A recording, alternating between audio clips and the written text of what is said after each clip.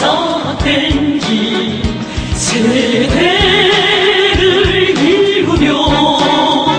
소란 품과 불빛 속에서 지켜온 20년 당중만 구르로 굳세게 번직한 우리 시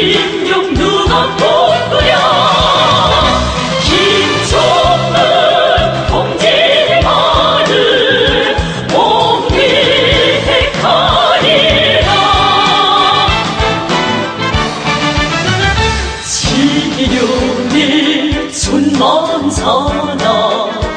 해쳐놓으며 묘사의 벌풍 속에서 가져